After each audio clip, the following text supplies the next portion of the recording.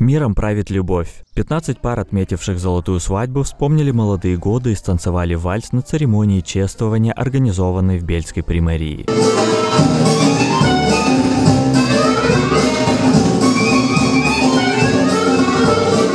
Опытные супруги советуют молодоженам сохранять чувство юмора. Она так в меня влюбилась, говорит, если ты не, не женишься на мне, я, я уйду утоплюсь. Я говорю, никуда надо, я женюсь. Ребята, он много шутит. Я был курсантом, а она училась э, с технику советской торговли.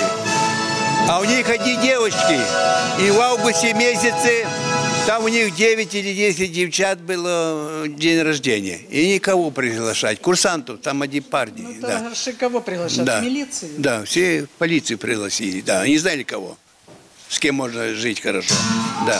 И пригласили, и я попал в ту компанию 12 лет. И вот увидел такую красавицу, и думаю, будет моя, моей.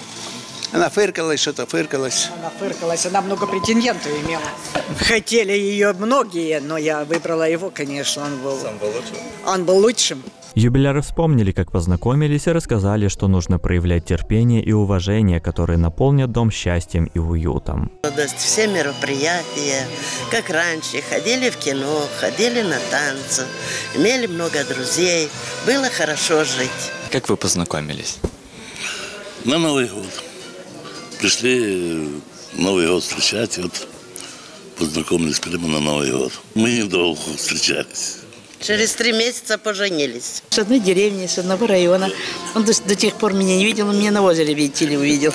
Ой, стыдно, в телевидении стыдно говорить. Так же, как мы, и уважали друг друга, любили, уступали, не оскорбляли друг друга, потому что молодежь сейчас так как бы по-другому совсем. Бельская примария отметила вклад супругов, проживших в браке полвека, в воспитание молодежи. Они совместно писали повести, повести жизни. Где-то э, они были разными, эти произведения, где-то комедийными, где-то драматичными. И я пожелал э, нашим уважаемым юбилярам, чтобы они и дальше шли совместно по жизни. Каждый из них является частичкой гордости Золотые юбиляры получили цветы и грамоты, а также по 2000 леев из муниципального бюджета.